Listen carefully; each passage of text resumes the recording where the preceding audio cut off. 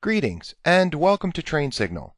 You're watching Working with Transport Rules and Data Loss Prevention. In this lesson, we're going to focus on transport rules and DLP policies. Transport rules can help to apply important actions to email as it flows through your organization. For example, adding a disclaimer, in the event you need to ensure a disclaimer is added to all email, the best way to do this is not to trust the end user to apply that disclaimer to their email. Even if they set up a signature with that disclaimer, there will always be some who forget to apply the disclaimer to their signature, or who forget to apply a signature, or reply to emails to the outside world and perhaps don't use their signature. So, trusting the end user for something so important is probably not your best solution. Instead, it's better to use a transport rule which will apply to all emails without the need for human intervention. Data loss prevention, DLP, these are policies that can be established that can scan email messages for sensitive information that may be subject to certain regulations or business policies. We have much to cover, so let's get started. A transport rule is really made up of three different items a condition, an action, and possibly an exception. Now, it's good to note that you can have more than one condition and more than one action, and that exceptions are optional. So, a good example of a transport rule might be that the head of a department wants a copy of all emails sent to his department also sent to him. Can you do that? Yes, you can do that. You can set up a rule with the condition that if mail is sent to a group made up of all persons in that department, a copy will be sent to the department head. So the condition is that email is going to that group. The action is that a copy will be sent to the department head. In this case, you might not have an exception. And you'll see that there are hundreds of additional possibilities with regard to rules that you can set up, including disclaimers and so forth. Now, DLP policies, they're separate from rules and they fall under the compliance management feature as opposed to rules which fall under the mail flow feature. But ultimately, the DLP policies create rules, as you'll see in a moment. We might call them special transport rules, and their purpose is to check inside emails and classify information within as sensitive or non-sensitive in nature. And all of this is based on keywords, dictionaries, and known patterns for things like credit card numbers, social security numbers, and more. So let's not spend too much time talking about transport rules and DLP policies. Let's jump over to our server and let's get a close-up view of transport rules and DLP policies in action. Alright, so we're on our Exchange server. We have the Exchange Admin Center already opened. And we're going to go to Mailflow and take a look at rules. So for starters, you can see we can hit the plus sign. We have no rules to start with, but we can hit the plus sign to create a rule, or we can click the little downward facing triangle to the right, and note it gives us a few quick templates that we can choose from. Apply rights protection to messages, apply disclaimers. So we'll return to this in a moment. We're going to start off with some blank rules to start. Apply rights protection to messages, apply disclaimers, and so forth. So we'll come back to this in a moment. Let's start with a blank rule by clicking the plus sign. So with our new rule, we have to provide a name. And what we're going to do is create a very simple rule that says all email that comes into the sales group, which we currently have a shared mailbox set up for that sales group, and it's at info at spytechprime.com. We want to make sure that any email that comes into that group, a copy gets sent to the VP of sales. So we're going to call this sales incoming email copy to VP of Sales. So here we have to provide the condition. So we're going to apply this rule if the recipient is, and here we'll scroll down, and we'll choose Sales, and say OK. So if the recipient is that sales shared mailbox, then we're going to provide an action and we're going to say BCC the message to David Walker, the VP of Sales. So we say OK, And now David will get a copy of all email that is sent to that sales shared mailbox. Now, you might say, well, what else can we do here? If we click More Options, we can add additional conditions. We can add additional actions as well. And you can see that by selecting the Add Action, there are a greater number of different actions we can supply here. So what we saw originally was just a subset of the actions we could have utilized. In this case, we are BCCing the message to David Walker, but here we can do a lot more to it. And so that's what that extra button would do in terms of adding extra options. In addition, if we needed to establish exceptions, for example, if we knew that certain messages didn't need to go to David, we could click Add Exception and then we can say what that exception would be.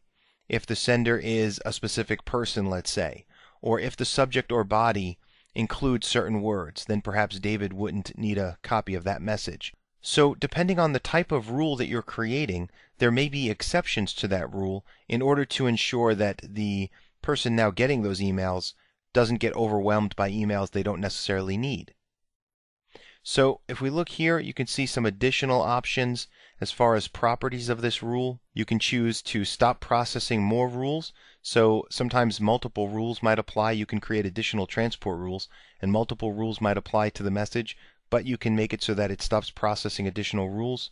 You can audit the rule with severity, and you can choose a severity level. You can activate this rule on a certain date and deactivate the rule on a certain date. So again, more flexibility in terms of the rules themselves and what you can do with them. You can choose a mode for this rule, so you can enforce the rule or you can test with notifications or test without notifications.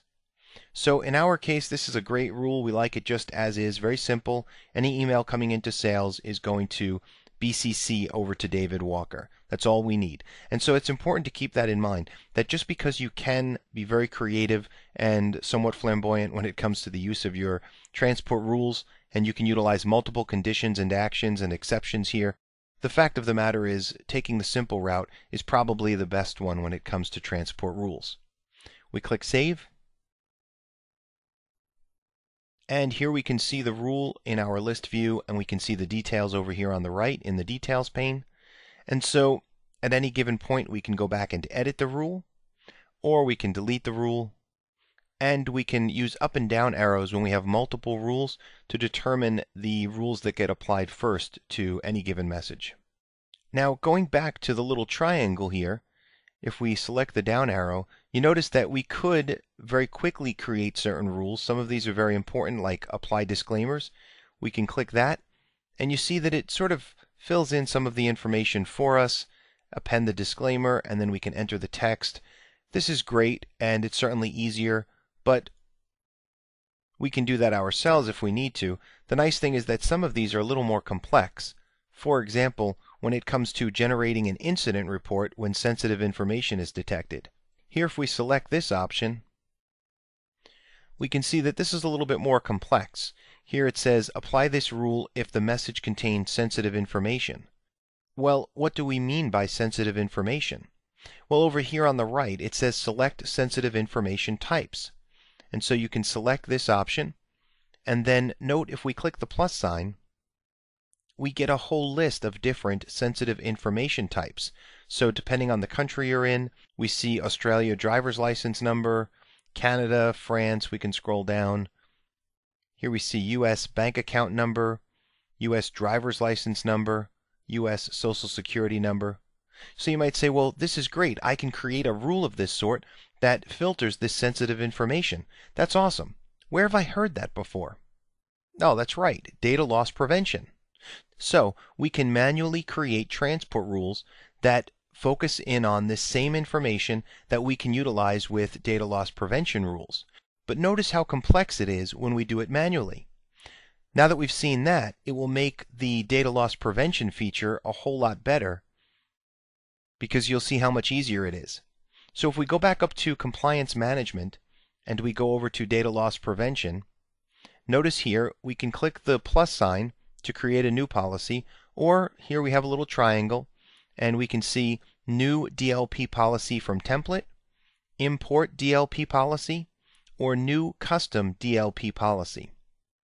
So again, if we go with the new custom DLP policy, we're starting with the name of a policy and we'll have to go back in and choose the settings and it's pretty much the same as what we were working on before with our transport rules where we would have to establish the individual settings for that policy.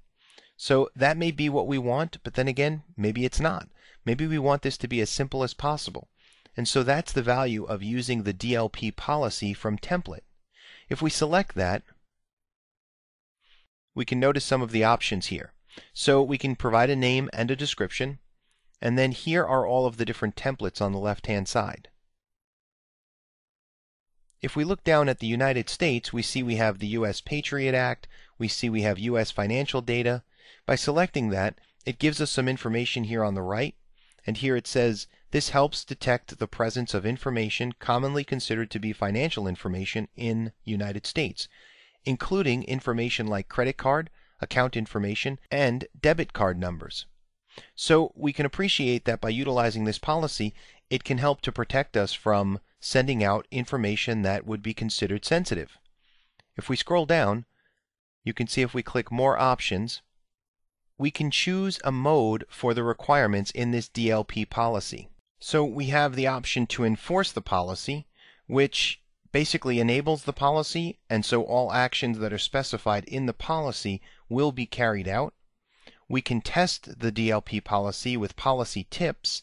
Now we haven't configured a policy tip yet, but we will in a moment. And so if we had a policy tip configured, basically what happens is the policy is enabled, but the actions will not be executed.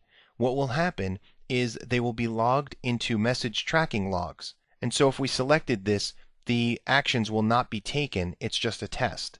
So it's a good way to test if the end users are getting the messages themselves, but it's not going to enforce whatever we've chosen in terms of the actions. And then test DLP policy without policy tips. This tests the policy, it logs the message, but it doesn't actually display the policy tip to the user.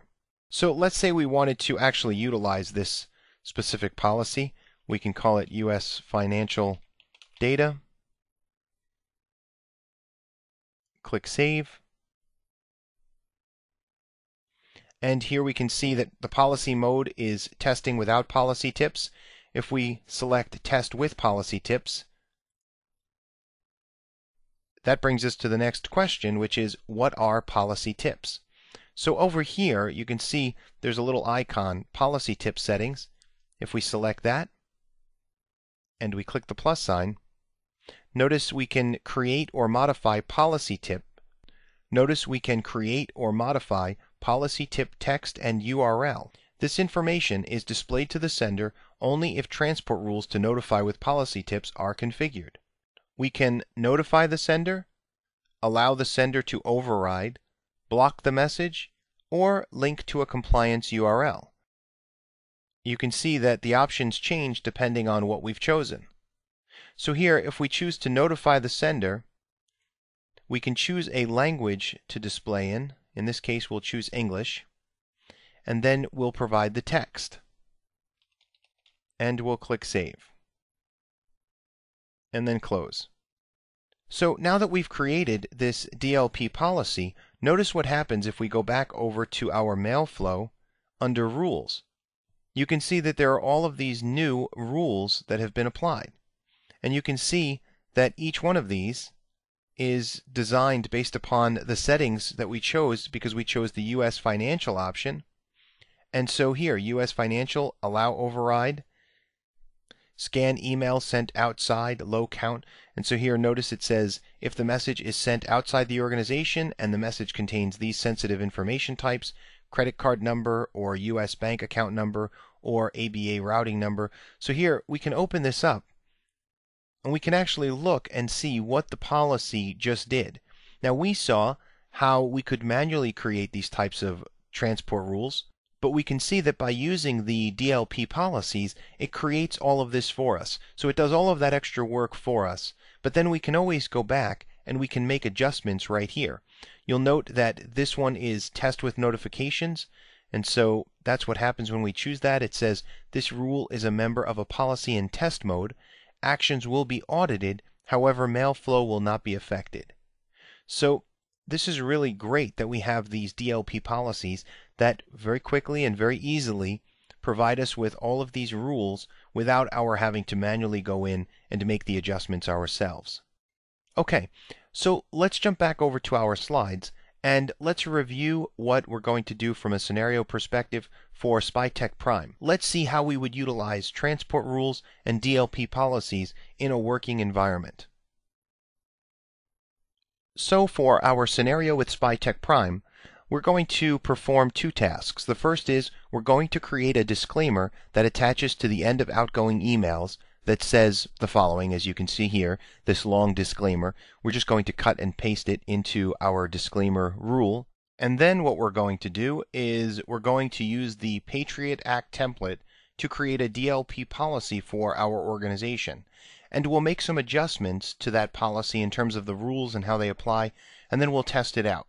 Let's jump back over to our server and get to work. Alright, so for starters, I emailed this disclaimer to myself from my TrainSignal account so that I can just copy and paste it over to the transport rule. And so we're going to just copy this text right here.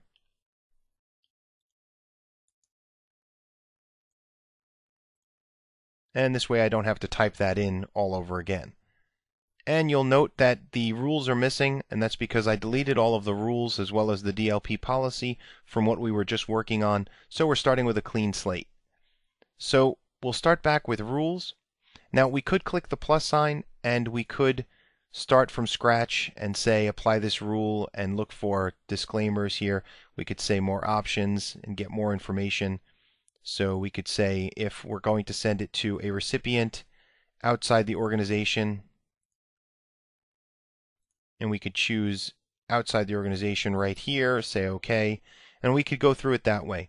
But what we're going to do is we're going to use the triangle here and click Apply Disclaimers. So we click Apply Disclaimers, we'll give it a name, Company Disclaimer. Notice it says Apply this rule if, and we're going to choose the recipient is located So internally, there's no reason to append this disclaimer to the end of our messages. So it doesn't make sense to do it for both. So in this case, we're going to apply the disclaimer to those messages that are going outside the organization. So we leave it as that. We say OK. And then we're going to do the following. Append the disclaimer. Note that this is already chosen for us because we chose this option from the list when we selected the little triangle there. And so we have to enter text. We click that option, and here I can just paste in the text that I copied from the email message that I sent to myself. I say OK. There's the text. And then, and fall back to action, and then it says select one. We're going to leave it as wrap and OK if the disclaimer can't be inserted. We can add additional options if we'd like, but this is pretty much all we need for now. And so we click Save. And now that we have this transport rule for company disclaimer, let's perform a test of it by sending an email to a person outside the organization. So if we go back to our Outlook web app, and we can just send an email back to myself here at TrainSignal,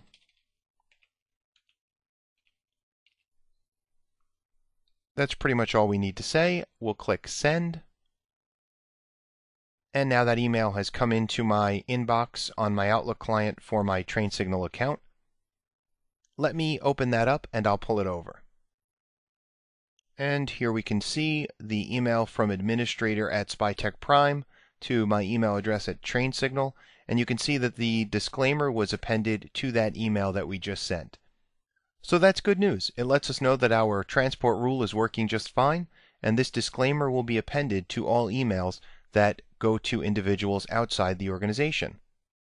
This is one of those things that really needs to be taken care of automatically for individuals rather than worrying about whether or not they apply it themselves or attach it to their signature or something along those lines. So by being able to put it right within a transport rule, it just removes this as a concern for Exchange administrators. Very easy to do.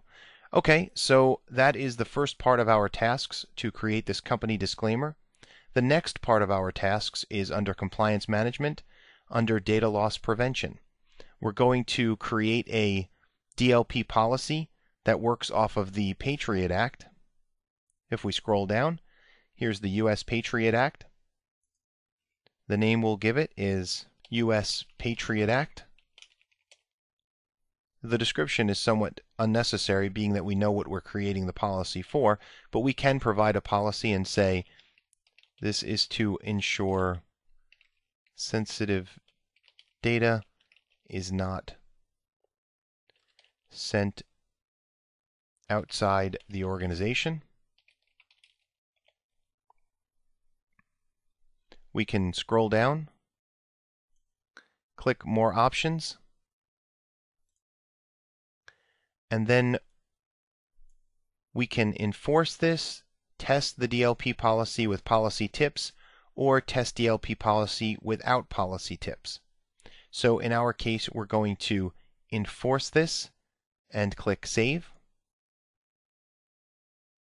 Now, just in case you're wondering why we decided to go with the Patriot Act instead of perhaps one of the other ones, well, here if we look in the various settings, if we look at the U.S. financial data, the actual settings here relate to credit card numbers. They also relate to bank information. However, the Patriot Act, it relates to credit card numbers, tax identification numbers, and it also goes into things like social security numbers. So I wanted to lock down social security numbers for the organization, and that's why we went with Patriot Act instead of going with the U.S. financial data only. So that's the only reason. We talked about the financial data earlier and we demonstrated that, but the Patriot Act has information regarding Social Security numbers. Now, the way you can check to see what your policy actually has and what the settings are is to go back into the policy. If we look under rules, you can see the various rules that are actually associated with it, and these rules are also located under mail flow under the rules that show us the different transport rules but you can actually make adjustments to them here or under the rules in Mailflow. And so if we look at the first one here, the allow override, this provides the ability to override the settings themselves. And then here we have the scan email sent outside low count, and then there's a high count. These are interesting because the low count is a setting where if we actually go inside here and take a look, we can see it says the message contains sensitive information, and then note all of the different features here. Credit card number, U.S. bank account number, U.S. individual taxpayer identification number, or U.S. Social Security number. And so this is basically everything that's under the U.S. Patriot Act policy. And so if an individual were to include any of this information, it would be flagged. And depending on the number of violations, it would be marked as a low count or a high count. So in this case, we're looking at the low count policy. If we select this, you can see that the minimum count is 1, the maximum count is 9. And so everything from 1 to 9 violations would still be considered a low count. And so, okay, we look at this and we say, that's great. What about the high count? Well, the high count would be from 10 forward. So if there were 10 violations or more, then it would be considered a high count. Now with the low count, notice it says notify the sender with a policy tip. And so we can create a policy tip and it will notify the sender, which these are similar to mail tips in that as they're sending the email through Outlook, it will give them this policy tip and say whatever it is we put in the message with regard to it perhaps being inappropriate for them to send this email. But notice the action. It notifies the sender but allows them to send. So this is not a deal breaker. They can actually send up to nine different violations, but it will still allow them to send. It will simply notify them. You might say, oh, no, no, no, that's not going to work. We need for this to block it right away. And so we can make those changes here. We can actually block it right now. We can block the message. We can do a bunch of other things. We can also notify others, not just the sender. So we'll come back to this, not to worry. Let's just take a look at the high count And notice if we reach the high count, it blocks the message, but it does allow the sender to override with a business justification and send. And you might say, oh, no, no, no, that's not what we want at all. In our organization, we want it blocked, and there is no override. So again, every organization is different, and you can make adjustments to these policy settings in order to really bring it in line with what your organization prefers. Okay, so we see all of these different settings. Let's do this. Let's make an adjustment here when it comes to the low count.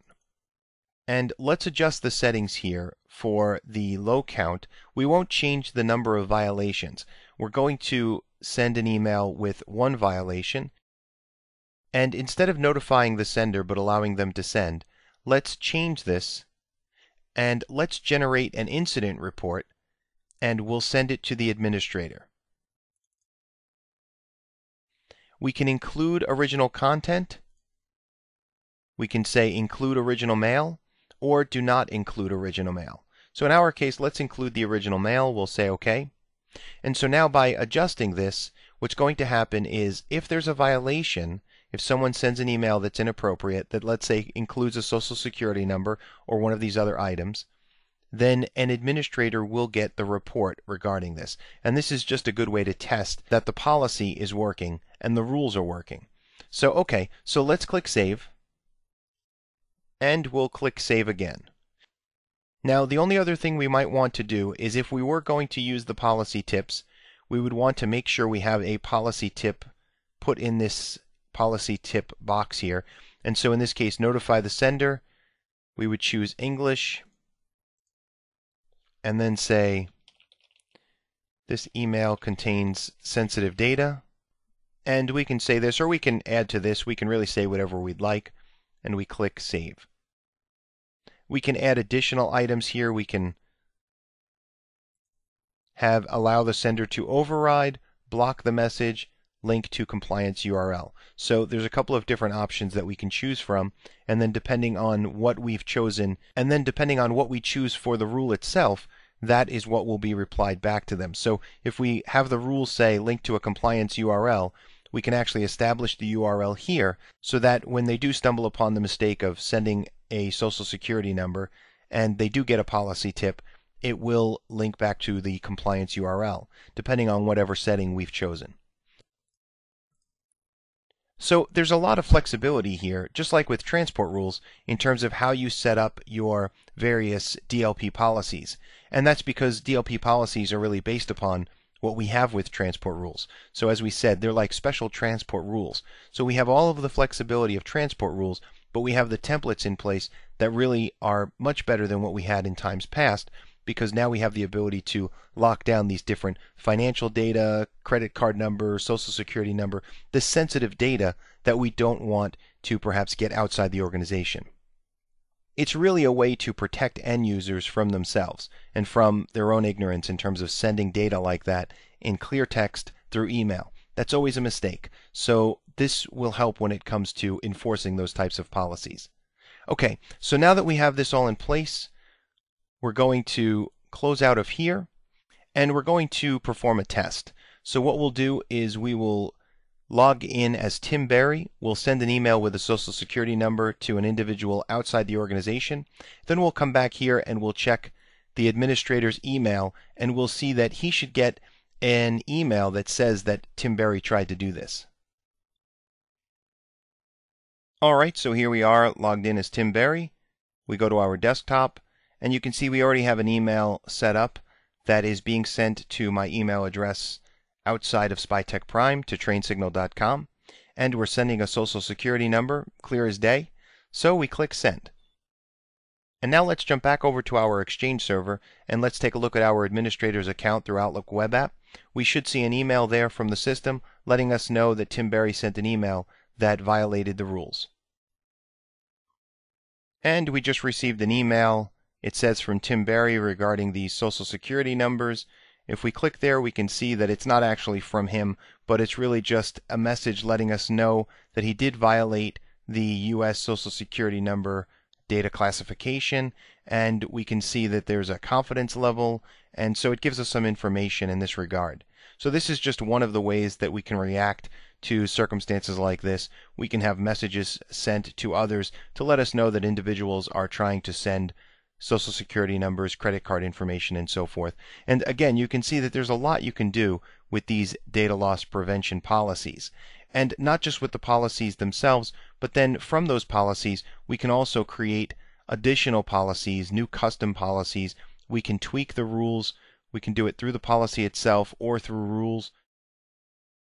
We can go in and make adjustments to the rule settings themselves and enhance them or modify them in some way, add additional conditions, actions, and exceptions.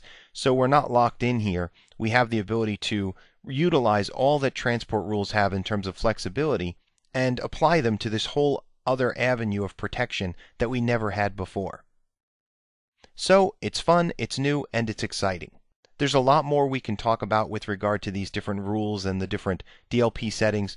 So I encourage you to do more research and more study, learn more about this, because as you can see, it's essential when it comes to compliance management for your organization, and so it will be essential for you to understand how this works in Exchange 2013.